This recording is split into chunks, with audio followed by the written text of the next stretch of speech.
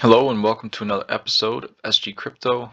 Today we're going to go into what's written here, Flare Network, a full protocol analysis. Now before we start, um, well actually for anything I just want to give a description of the video. So basically what we're going to do is, this video is really just for people that are interested in the Flare Network, that plan to utilize it, and just ask themselves like what is so special about this protocol or this network? What what is all the hype about? Why are people so excited about it? And what's what's so new? Um, and so that that question will definitely be answered in this first part. This will be a three-part series, um, just because this is a longer article, and you know typically um, the brain can really only understand information in like 25 minute interv intervals most effectively. So these will probably be about 15 to 25 minute videos, three-part series, and I do want to give every bit of um, accolades, all the accolades to Greg here. Um, here are all of his links, all of his ads. Uh, so he is a YouTuber um, at Altcoin Evolution. I will leave his links in the description. DAO contributor, so he also works on DAOs, decentralized autonomous organizations. Um, and yeah, so all the respect to this man he has taken the time to write this entire article. Um, and it's some fascinating stuff. Now, I did notice that he also did make a video on the, this article. I did watch a little bit about it, and I just wanted to kind of break down. Um, and I will also leave the link to this and his YouTube channel in the description. I mean, also a short form thread on Twitter. I will leave that in the description as well. Um, I do want to give all accolades to, to Greg here um, give credit where it's due. So let's get into it. Um, so first, this will just be covering the entire three-part series. So in this first part, we're going to cover these three things here. So what the protocol does, the problem that it is solving, and how it solves that problem with clever tech solutions. Uh, and then just for you guys to know what to anticipate in the future, for the second part, we'll be doing who the investors are and how the tokenomics will drive demand and supply, why miners and validators are irrelevant, and what replaces them, and how Flare is doing attracting third parties to build on their tech on their tech. So people that are going to build dApps on the protocol. Um, and then thirdly will be a summary of existing dApps and their KPIs, what the structure of the team is and the network's governance structure, and wrapping up with the bull and bear cases for Flare. Take a sip of coffee quick. So this is really just um, what says here a layer one analysis framework. So basically just how these kind of protocols work, um, especially in analyzing them. So first off, the team will develop the protocol. They'll make the decisions on the protocol. And so from the protocol, you attract investors and get funding for a better token price or just to establish a token price. Um, and from there, you will then start to incentivize and receive miners and validators, which allow for production capital to be brought to the platform and also induces functionality to the platform. Um, and from there, more development resources, which incentivize third-party developers to bring human capital to uh, useful applications, kind of like Sparkle's NFT that we've seen, um, and others will be coming in the future. So, especially, you know, we got to wait for the the network to launch too. So, the mainnet. Um, and from those useful applications, there will be more utility for users, which will then bring more users and a bigger community essentially. Um, and this just comes full circle. Uh, and so the Flare protocol, it is a distributed network that can be used to create two-way bridges between networks. It integrates the Ethereum virtual machine which enables the network to run Turing-complete smart contracts. Turing-complete smart Turing-complete being Turing-complete is essentially something that can compute any problem, almost any problem, um, effectively. And so Turing-complete is essential in smart contracts. And the Ethereum virtual machine virtual machine just essentially means that we can do anything that the Ethereum uh, blockchain or network can do. Um, and we are a contestant in the Great Alt EVM Wars um, Solana and Atom are EVM compatible and utilize that technology as well. So Flare Networks seeks to solve two problems. Number one, non-Turing complete blockchains hold around 65% of the total value in crypto. And number two, proof of stake networks have some issues when it comes to security of network. So we will cover both of those in this video actually. Um, so firstly, Flare's vision is to unlock the assets that are held in non-Turing complete chains. So if you, and this is where, I mean, it is an estimated value of 65% of the value of the blockchain tokens. Um, that is estimated by Flare. And so let's take Doge for example. Doge really doesn't have any utility at this moment um, because of the blockchain it is on. And so this, what Flare acts as, is basically just a bridge, a bridge that was never there before.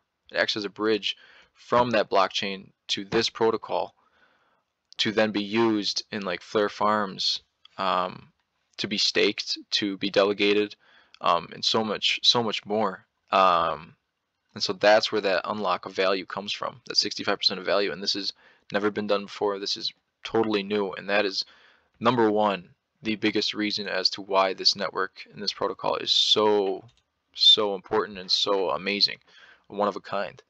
Um, and so on the launch, the F assets, which is wrapped versions of assets that sit on the Flare networks that will be listed, are here as follows.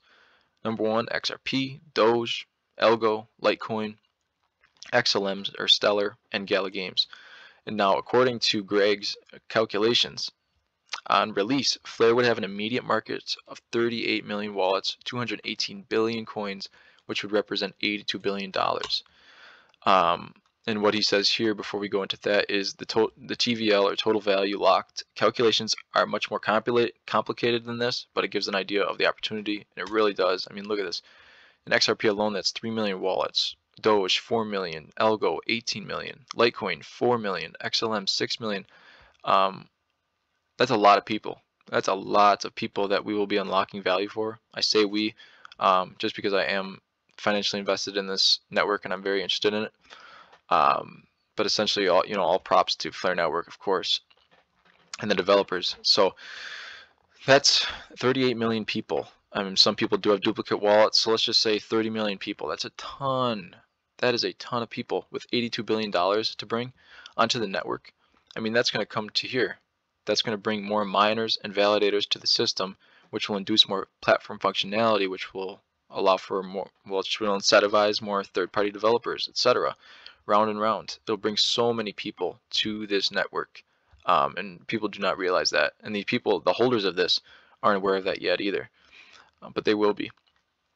Um, so when the net network launches, the biggest determinant of Flare's success, in Greg's opinion, will be how many of the available coins get turned into F assets. So tracking Flare's assets under management will be the one to watch in late 22. So just watching which of those is first to come. Um, so obviously these will be the first to come, but you know, in a matter of time, how fast they get brought on and new ones beyond them. So secondly, and this is identifying the second issue, the team have identified issues with the proof of stake due to the fact that POS or proof of stake derive network safety from their native tokens. Um, let's say Crypto.com, for example, they use crypto or CRO, or Crypto.com, the coin, CRO. That is their native token, and that is necessary for security of the network. Um, so in the short term, this is an issue because of the staking yields. So the yields for staking that native token are less than that of the DeFi protocols on the network, the staker will likely divert tokens away from staking, compromising network security. And why wouldn't you? If you're going to make more money somewhere else, um, there's no incentivized to keep you there, I mean, why would you? Um, uh, so, this is something Flare team stated as a proof of stake network gains usage and the value built on top of it increases, the value of the token must increase or the network will become unsafe. This is really just reiterating this point here. Um, you know that the the native token has to have there needs to be incentive to hold that token in order for the network to be safe. And this is uh, you know Flare has gone is really the antithesis of that. You know they're doing something completely different. Um, and so how does Flare solve these issues? So the Spark token is the native token of Flare. That is the one we'll be getting airdropped sometime this year. And it helps prevent spam attacks and can be used as collateral within dApps, providing data to on-chain Oracle and participate in protocol governance. but importantly, it isn't. It is not required to secure the network, as it says here. It just helps prevent spam attacks and can be used as collateral. Um, here's just a little infographic of the uh, Spark ecosystem. I can leave a description. I will leave a description or a link to this infographic in the description if you want to look over it. Just kind of just covers the different sectors of it, like dApps. You got Sparkles NFT is one of them, and a couple others will be coming. Uh, here are the three F or the three uh, tokens. You got F or YFlare, YFin, and YMin, all essential to their platforms uh, or their their dApps within the Flare network. The FTSO Oracle, this is just the delegating, which we've been doing with ExFi. Um, and yeah, so FAsset agents, that's something we'll be diving into in this video. Um, FAsset agents are essential for assets like Ethereum to be brought on to, um, to Flare network. So again, we'll get into that in a bit. So Flare is the world's first Turing complete federated Byzantine agreement network. The nodes run the Avalanche consensus protocol with a key adaptation to the FBA consensus topology. So the Avalanche consensus protocol, they utilize that, but with its own twist, adapting the FBA consensus topology. So I just want to explain to you guys what that Avalanche consensus protocol is. So basically, only three times in the 45-year-old history of the distributed systems, have we had a new family emerge, and Avalanche is that brand new family, and has a break, big, massive breakthrough, and it utilizes Satoshi's protocol, and combines the best of that with, you know, the classical uh, system protocol. So it combines both, you know, speed, and actually it says it right down here, combining the benefits of Nakamoto and the classical provides robustness, scale, decentralization, and then speed. This is really just referring to Bitcoin and how it uh, you know had the decentralization, the robustness, and the scale of it. It was massive, um, and it was revolutionary. And then it came to the classical consensus like Ethereum, which allowed for speed, quick finality, and energy efficiency. I guess I shouldn't say that. Not really Ethereum.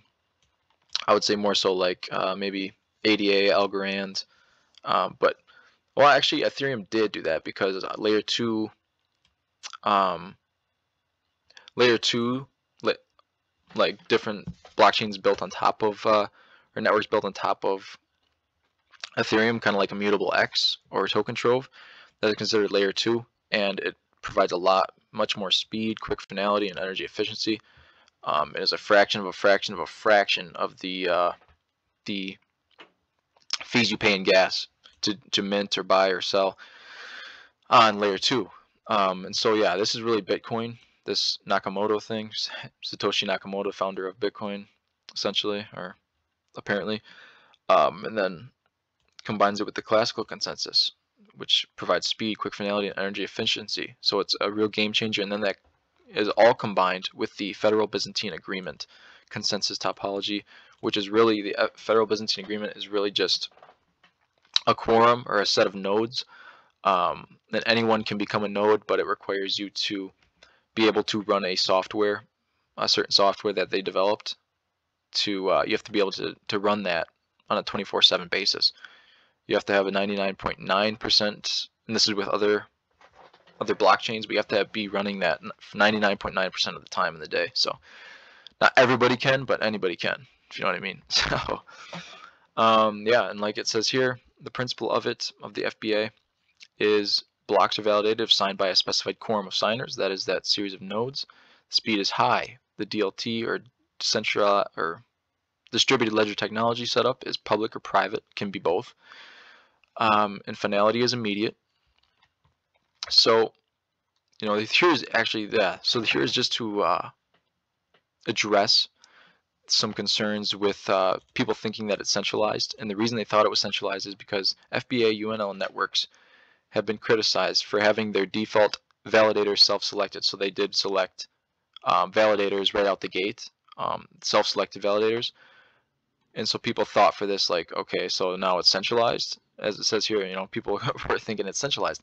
But this is totally not the case because Flare innovates on the FBA UNL structure by incorporating miners from all F asset chains to also be the validators on Flare. So all these people, out of this 38 million people, there will be validators or miners brought on, well, miners brought on as validators. Um, and so it will not just be their own self-selected people. There will be many others. Um, this is really just going over the the transactions per second, which is 4,500 for Avalanche, which is uh, huge. And if you ever watch the Songbird Network or the Songbird Explorer, you will see that this, I mean, uh, the transaction speed is fast, 350 milliseconds. Um, and you can go on there, you're seeing transactions happen every second. Um, and then this is for F assets. So basically, the this is the process of an asset becoming an F asset. So an asset from, let's say, Ethereum to be brought on to the Flare network. So actually, well, you, it's going to be the XRP ledger to the Flare network. So let's say here's you, and you want to bring XRP onto the Flare network. Number one, step number one, an, a F asset creation request is made to the Flare network. This is processed through the state, state connector to the agent who uses his Flare as collateral to mint XRP or FXRP. Step number two is converting your XRP to FXRP. So here's you. Step number three is once the collateral is reserved, you send your XRP to the agent. So here's you. You send your XRP to the agent, who then sends his all that that transaction data to the state connector. And then upon upon confirmation of XRP, the system mints FXRP and credits your Flare wallet with it.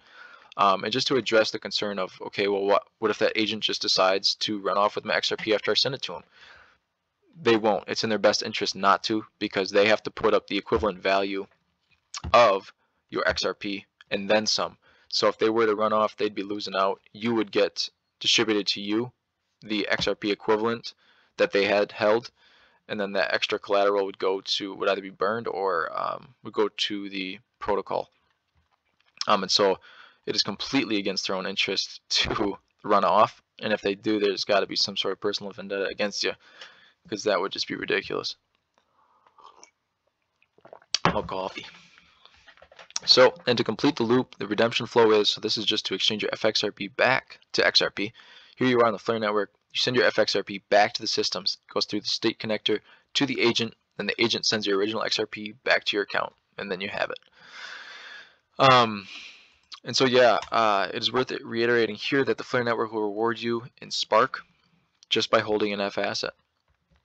So that is something for all 38 million wallets to consider. That by converting your assets, XRP, Doge, Algo, etc., to an F asset, you will be earning Spark in the meantime, just by holding it, which is a beautiful, beautiful thing. Unlocking 65% of value. So just a quick summary. Uh, in some key takeaways, Flare's tech is well suited for use case being Ethereum Virtual Machine compatible. It solves issues with the POS, proof of stake by utilizing FBA and Avalanche. And number three, the network has the potential to bring dApps to large existing communities, which is a clever growth hack, in Greg's opinion, as they can leverage established user bases rather than having to attract their own from scratch, which is so true. It's it's genius, man. I mean, they are literally they've built this network they've built this protocol and literally just leveraging other communities I mean look at this they're leveraging freaking 38 million people just by creating a bridge between them um, but that's the beauty of innovation and of being of being brand new of being completely different than anybody else um, you definitely re receive the benefits so that's it for this video that is part one of three. I'll be dropping part two on Thursday and part three on Friday. So if you guys have any questions on this video or found that I did not state something correctly, please correct me in the comments um, so we can all learn together. And if you do have any immediate questions, you can reach me at my email, sgcryptoedu at gmail.com, or you can simply reach out in the comments and I'll get back to you ASAP. Um, or someone else in the community will get back to you, which is amazing. I love that. So that. I hope you guys have an awesome, awesome day. It is beautiful out. Um, catch you in the next one.